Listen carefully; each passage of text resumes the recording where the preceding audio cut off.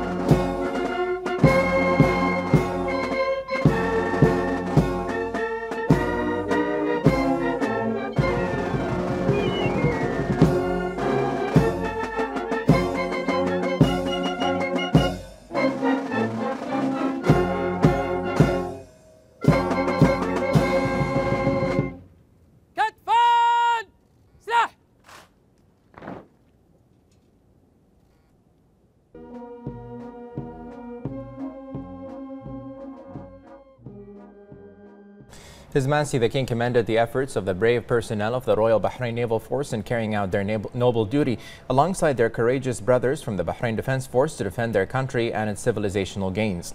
His Majesty praised their important participation in guaranteeing the freedom of international maritime navigation and combating piracy in the region, expressing appreciation for the efforts of the commander and personnel of the Royal Bahrain Naval Force. His Majesty also met a number of officers from the Bahrain Defense Force, the Cooperation Council for the Arab States of the Gulf, the U.S. Naval Support activity in the UK Maritime Component Command.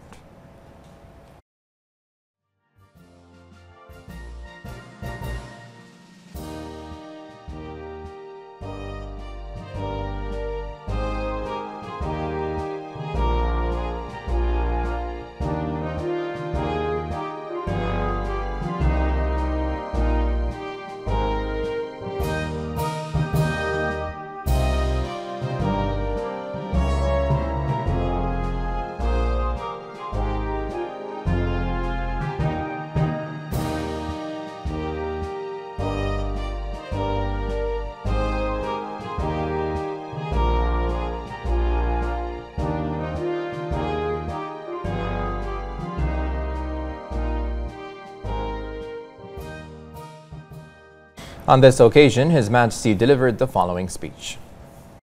بسم الله الرحمن الرحيم أبنائي الأعزاء منتسبي سلاح البحرية الملكي البحريني يطيب لنا بداية أن نرحب بضيوفنا الأفاضل بسعادة سفير الولايات المتحدة الأمريكية لدى مملكة البحرين وقائد القوات البحرية بالقيادة المركزية الأمريكية قائد الأسطول الخامس قائد القوات البحرية المشتركة وقائد العنصر البحري للقوات البحرية الملكية البريطانية نائب قائد القوات البحرية المشتركة. كما نرحب بأشقائنا من دول مجلس التعاون لدول الخليج العربية فهم اليوم كأبناء البحرين في دارهم ونقدر لقادتهم وشعوبهم ما يخصون به بلادنا من محبة ومساندة لا تنقطع في كافة الظروف والأوقات. ويسرنا أن نعرب لكم في هذه المناسبة الطيبة عن تقديرنا الكبير لتعاوننا المتواصل الذي يأتي امتدادا لعملنا الجماعي منذ عقود طويلة والمرتكز على إرث عميق من العلاقات الوثيقة والتنسيق المشترك والمنضبط في مجالات التعاون العسكري والأمني والسياسي والاقتصادي وغيرها من المجالات التي تبرهن على جهدنا المشترك المخلص من أجل بلوغ مستويات متقدمة من الإنجاز. ذلك الجهد الذي تتوحد فيه مواقفنا اليوم نحو المزيد من الخير والرخاء لدولنا كافة. ويأتي ما نشهده من نجاح متواصل لمبادرات التنسيق والتعاون بيننا. ليؤكد على سلامة توجهاتنا الأمنية والدفاعية وكأمر يبعث على الارتياح والاعتزاز بما تقوم به قواتنا معا من دور محوري وبناء في تعزيز أمننا والدفاع عن مصالحنا.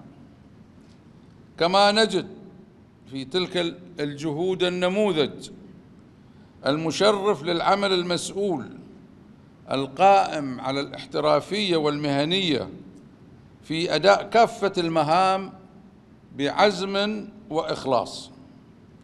ومن أهمها واجب الحفاظ على سلامة الملاحة البحرية وتأمين الممرات الدولية للتجارة والطاقة والتي نتحمل جميعا مسؤولية حمايتها. من منطلق واجبنا تجاه استقرار المنطقة والعالم ككل. وفي مثل هذه الأوقات الهامة فإننا نجد في التزامكم بأمن المنطقة والحرص على العمل المشترك مع دولها بمثابة المرتكز الأساسي في مسيرة علاقاتنا الوثيقة التي نعمل من خلالها على تكثيف أوجه التعاون والتنسيق والتشاور المستمر حول تطوير استراتيجيات العمل في ظل التحديات والتهديدات التي تحيط بالمنطقة وتمس أمنها. وبما يضمن إلزام الجميع بالقوانين والأنظمة التي تحتكم لها علاقات حسن الجوار والاحترام المتبادل لسيادة الدول واستقلالها وعدم التدخل في شؤونها الداخلية. وفي الختام أكرر لكم تقديري واعتزازي مع تمنياتي لكم بدوام التوفيق والنجاح في أداء دوركم النبيل المتمثل في حمل أمانة الدفاع عن الأمن والسلام. والسلام عليكم ورحمة الله وبركاته.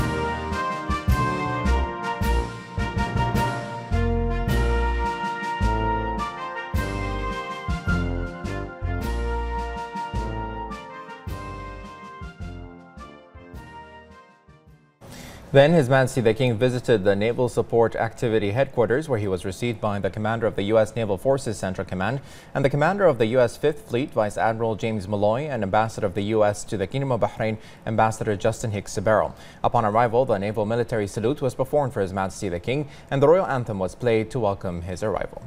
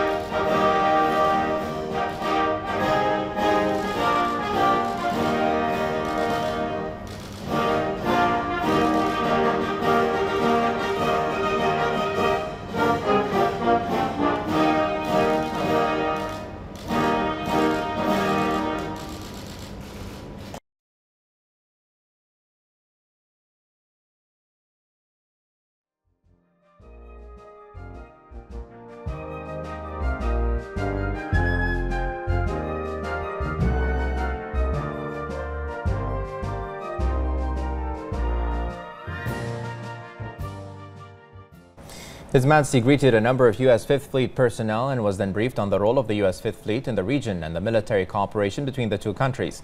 His Majesty expressed appreciation to the commander of the U.S. Naval Forces Central Command and the U.S. ambassador for this kind invitation, affirming that the strong relationship between the Kingdom of Bahrain and the United States is critical to regional maritime security and the free flow of commerce.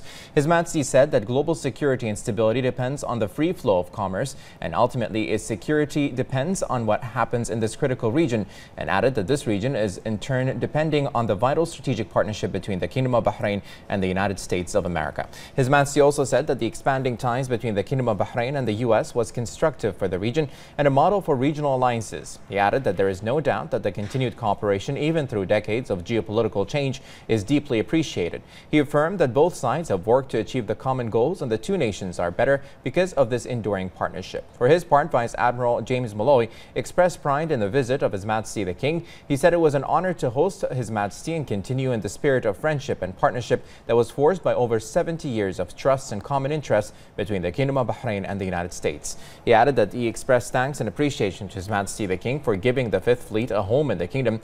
He said that together we stand ready to work cooperatively to ensure regional stability and safety and to deter our adversaries.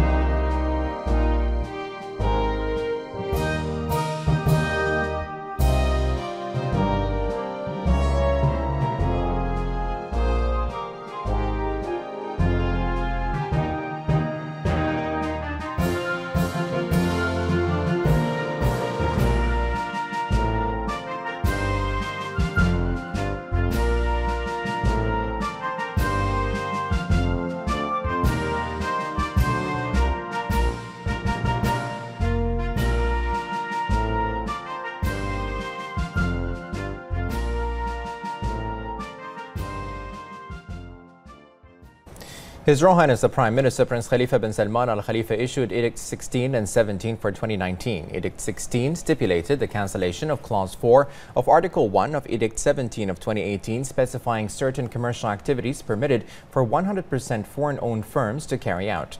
Edict 17 of 2019 stipulated the rescinding of the overall frame for higher educational institutions' academic programs auditing unit as per Edict 45 of 2019 and replacing it with the overall frame for higher educational institutions institution's academic programs auditing associated with this edict. His Royal Highness the Prime Minister Prince Khalifa bin Salman Al Khalifa received today at Gudaibiya Palace the Sudanese ambassador to Bahrain, Ibrahim Mohammed Al Hassan, where they discussed the fraternal relations between the two countries and means of bolstering them in various fields, as well as the latest developments in Sudan.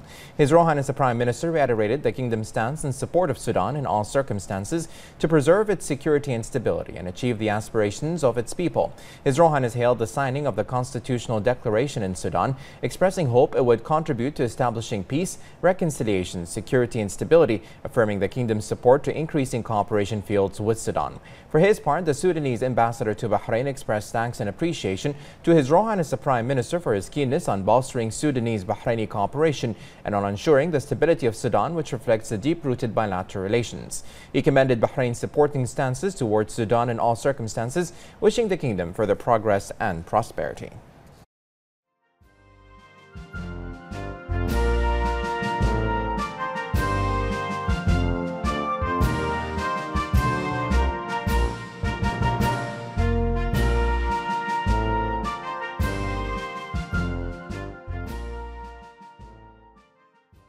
His Royal Highness the Crown Prince Deputy Supreme Commander and First Deputy Prime Minister Prince Salman bin Hamad Al Khalifa received today the Ambassador of Sudan to Bahrain Ibrahim Hamad Al Hassan Ahmed at Gudaibiya Palace. During the meeting, His Royal Highness the Crown Prince highlighted the strength of bilateral ties between Bahrain and Sudan, noting the importance of further enhancing cooperation between the two countries on all levels. His Royal Highness expressed wishes for Sudan to continue its path of progress and stability in order to achieve the aspirations of its people towards further development and prosperity. His Royal Highness and the Ambassador went on to discuss means of expanding bilateral cooperation and reviewed regional and international affairs of common interest. For his part, the ambassador expressed thanks and appreciation to His Royal Highness the Crown Prince for supporting the development of Bahraini-Sudanese relations. The Minister of Foreign Affairs, Sheikh Khalid bin Ahmed bin Hamad Al Khalifa, and the Minister of Finance and National Economy, Sheikh Salman bin Khalifa Al Khalifa, also attended the meeting.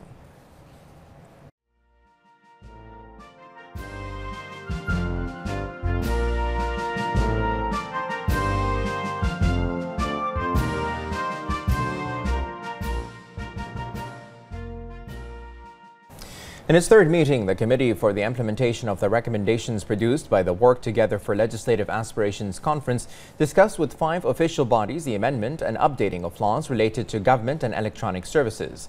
The meeting was chaired by the chairperson of the Shura Council's Legislative and Legal Affairs Committee, Dalal Jasim Zayed, and in the attendance of officials and representatives from the Ministries of Interior, Justice, Islamic Affairs and Endowments, Shura and Representative Council Affairs, Legislation and Legal Opinion Authority, Information and Government Authority. The Shura Council held held a, during the month of July a conference entitled Work Together for Legislative Aspirations that witnessed the participation of 500 participants and discussed seven topics related to the general state budget, mechanisms to support the labor market, education and government services, health and gender equality. So today the follow-up committee had another intensive uh, meeting with the uh, concerned authorities. Um, some of the most important points we covered is the um, uh, the importance of having to segregate for the police stations the differences in the respective complaints, be they civil and uh, criminal, and also proper awareness, especially on the uh, hotlines uh, for citizens contacting them, as to because many have expressed delays in lines being answered, uh, and as well as the procedure of the complaints uh, to know where exactly to file a civil complaint, the procedures involved, etc. This is very important to ensure that the time is not wasted for the respective uh, personnel at the police stations. Uh, with respect to the e-government, we uh, spoke with the officials. Uh, we were very impressed to see that they offer services for over 300 government services again, they also have uh, what they call uh, certain questionnaires and certain uh, um, questions from time to time with the citizens regarding quality control to test this. Um, but what, of course, is very important uh, to know is that uh, we have shared with them the importance of citizens being made aware as to these services.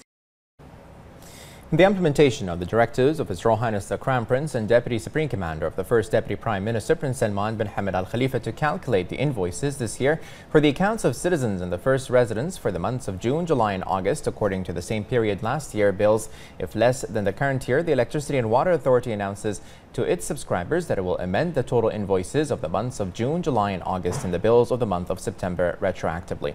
He stressed that these directives come within the framework of enhancing the directions aimed at the sustainability of the resources of the kingdom in order to achieve the aspirations of citizens and support the objectives of the comprehensive development process.